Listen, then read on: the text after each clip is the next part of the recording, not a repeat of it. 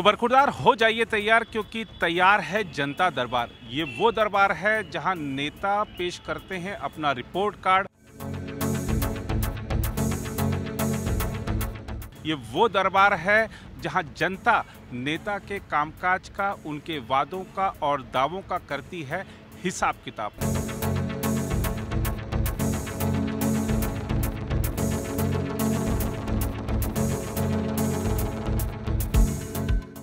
नमस्कार दोस्तों, मैं देवेंद्र प्रताप सिंह। आज प्रवास साक्षी नेटवर्क में आप सबका स्वागत करता हूँ और इस वक्त हम जनता दरबार में मौजूद हैं।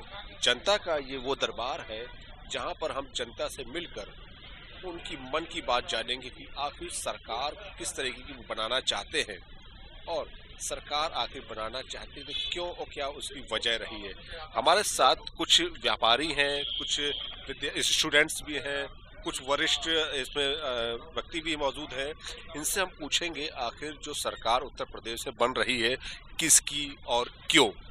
एक साइड से हम शुरू करते हैं। भाई साहब मौजूद है। क्या शुभ नाम है आपका? राजकुमार सिंह। राजकुमार जी अगर हम बात करें प्रदेश की सरकार को लेकर तो वर्तमान में जो सरकार है उसके कामों को लेकर क्या कुछ आपकी राय है? भाई उन्होंने कुछ काम किया तो है नहीं। उन्होंने दूसरे काम को अपना काम बता के तो खड़े हो गए उन्होंने ये अपना काम बता के दिखला रहे हैं। और कोई काम तो है नहीं।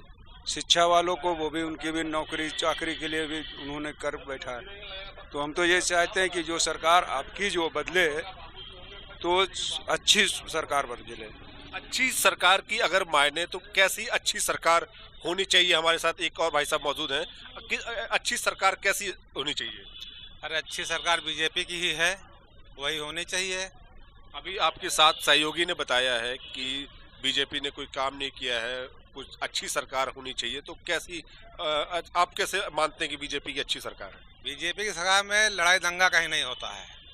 और भाई साहब बता दें कहाँ नहीं लड़ाई दंगा होता है?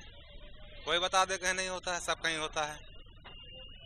बीजेपी सरकार में कोई लड़ाई दंगा नहीं, सपा में सब कहीं हो। सिर्फ़ लड़ाई दंगे के आधार पर आप बीजेपी सरकार मान बनाना चाहते हैं और अगर हम बात करें बीजेपी सरकार में क्या लड़ाई दंगा किस हद तक रुका है?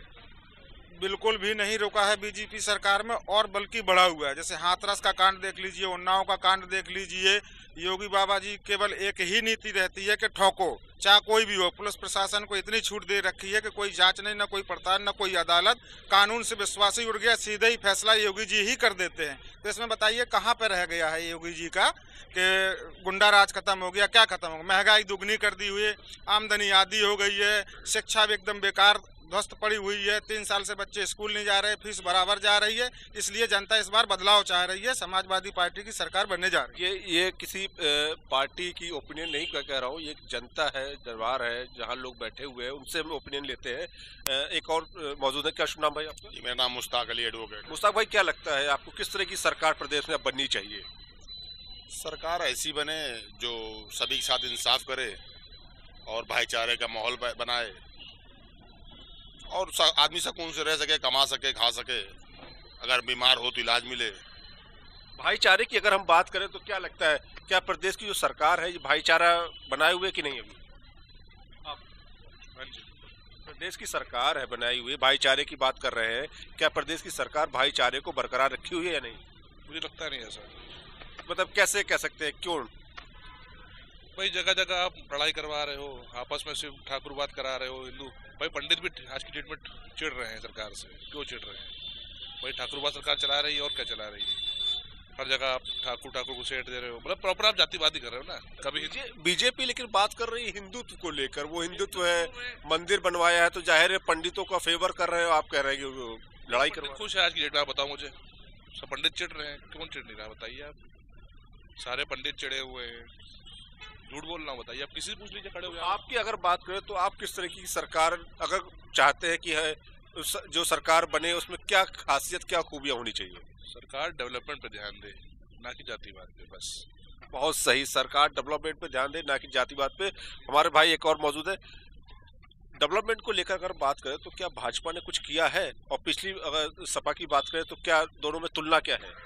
हमको ना किसी से तुलना करना, ना कोई। हमको सिर्फ़ ये चाहिए कि जो भी सरकार आए, ठीक है, शिक्षा पे ज़ोर दे, युवा के लिए ज़ोर दे, पढ़ाई के लिए ज़ोर दे, ठीक है, महँगाई पे ज़ोर दे, ना कि जातिवाद पे ज़ोर दे वो। जातिवाद से भारत थोड़ी चलेगा। भारत चलेगा तो शिक्षा पे चलेगा। महँगाई कम होनी चाहिए, आय ज़्यादा होनी चाहिए, लोगों के लोग परेशान है, बताइए। कहाँ से उन्होंने क्या करा? कुछ नहीं करा, महँगाई के सिवा, कुछ नहीं ना। बहुत ये बेसिक चीज़ें हैं। जो कि लोगों को चाहिए होता है। अगर हम बात करें कि बीजेपी ने क्या एजुकेशन को लेकर क्या कुछ कि आप बीजेपी का फेवर कर रहे हैं? एजुकेशन को लेकर कितना कुछ? हम फेवर तो नहीं कर रहे हैं। मैं ये कह रहा हूँ, अच्छी जो है, जो भी है, जो समाज को देख के चले, समझे नहीं बात?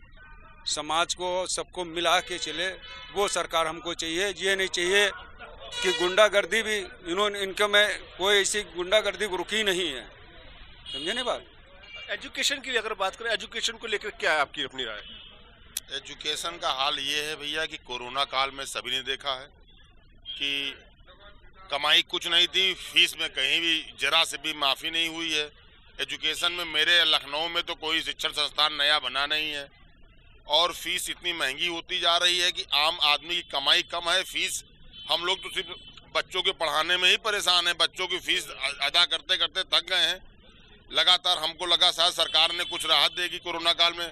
कम से कम बच्चे घर पे पढ़ रहे हैं होम क्लासेस हो रही हैं कुछ तो माफ़ करना चाहिए था। स्कूल का स्टाफ बच रहा होगा, सब बच रहा होगा, लेकिन हम लोगों को एक रुपया फ़ीस की माफ़ नहीं हुआ। पूरा पूरा साल बच्चों की फ़ीस देनी पड़ी, और हम घर में बच्चे ऑनलाइन छोटे बच्चे ऑनलाइन से क्या पढ़ते हैं? कम से कम फिफ्टी परसेंट डिस्काउंट सरकार दिला देती। किसी भी प्रकार की कोई छूट नहीं दिलाई गई। किसी प्रकार का कोई नया शिक्षा संस्थान खोला नहीं गया। तो मुझे तो लगता है बिल्कुल चौपड़ व्यवस्था है। इसमें देखिए, कोई दो राय नहीं है कि कोविड में ही एजुकेशन तो पूरी तरीके से ध्वस्त हुआ ही हुआ है। जो छोटे व्यापारी हैं, छोटे कर्मचारी हैं, उनकी भी बुरी तरह से हार हुई है। और अगर हम बात करें सरकार को लेकर प्रदेश की सरकार है, तमाम अब इस वक्त चुनाव के समय चल रहे हैं प्रत्याशी मैदान में उतरे हुए हैं।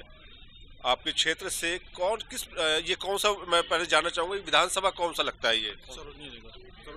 सरोज नगर विधानसभा की बात करें तो इसमें किस प्रत्याशी को आप निकालना चाहेंगे? क्यों? समाजवादी पार्टी को हम निकालना चाहेंगे। समाजवादी पार्टी डेवलप की बात करती है। हमारे आसपास जहाँ मैं रह रहा हूँ सरोजनी नगर में लोक बंधु अस्पताल समाजवादी पार्टी बनाया। शिक्षण संस्थान की करें तो राम मनोहर लोहिया ला कॉलेज बनाया। बैड क्रिकेट स्टेडियम बनाया। इतना कुछ विकास किया कि मैं, और भी कई नाम है। मेदांता हॉस्पिटल बनाया और कई काम किए मेट्रो स्टेशन बनाया।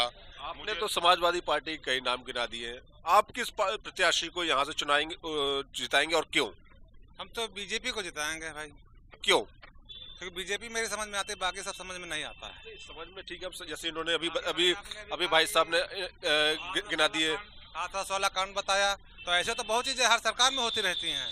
महँगाई भत्ता महँगाई जो कभी कम होने नहीं है नहीं नहीं महँगाई कभी कम हो सकती नहीं है चाहे जो सरकार आ जाए। महँगाई कभी नहीं कम होगी। ये आप तो जानते ही। मैं आपकी बात पे सहमत हूँ। इन्होंने समाजवादी की बात बता दिया कि इन्होंने ये ये काम किया मेरे क्षेत्र में। आपकी नज़र में क्या काम किया? काम तो मैं नहीं समझ सकता मैं याद भी नहीं मुझे। ठीक है आप आप जान आप बताइए आपके अगर प्रत्याशी किसी चूँकि हर पार्टी से प्रत्याशी चुनाव में खड़े हैं तो किस प्रत्याशी को वोट देंगे और क्यों? वोट हम देंगे प्रत्याशी को जो पढ़ा लिखा प्रत्याशी हो, जो अच्छा प्रत्याशी हो, जो क्षेत्र में काम करे, हम जब गरीब जनता का काम करे, स्वास्थ्य पर काम करे, इस तरह से जो अच्छी नए युवाओं को आगे बढ़ाने का मौका दे, रोज़गार दे, नौकरी दे, जो सरकार, उस पर हम वोट देंगे। देखिए, ये बात यहाँ बहुत हम नहीं ये नहीं चाहते हैं कि यहाँ पर आप लोग विवादित हो, एक दूसरे से झगड़ा करें।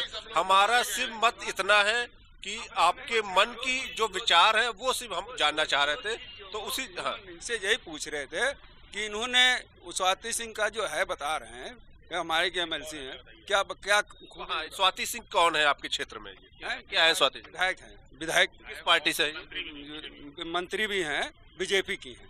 और वो बता दें यहाँ की सड़कें और गलियाँ बता दें किस तरीके की है तो हमको बात मान लें। वो किसी को देखने नहीं जाती जहाँ इनके बरादरी के होते हैं वहाँ जाती हैं ये। या फिर उद्घाटन करने जाते हैं बियर बार की। ठीक है शुक्रिया बात करने के लिए हमसे। तो ये प्रभात साक्षी में एक छोटे से जनता दरबार में अ, कुल मिलाकर बीजेपी का जो पलड़ा है वो काफ़ी डाउन दिख रहा है और अ, जो समाजवादी पार्टी यानी सपा का पलड़ा है काफ़ी उठता नज़र आ रहा है। वीडियो जर्नलिस्ट अविनाश के साथ देवेंद्र प्रताप सिंह प्रभात साक्षी लखनऊ। अगर आप भी लेना चाहते हैं देश दुनिया की तमाम जानकारी तो आज ही सब्सक्राइब करें हमारे चैनल को।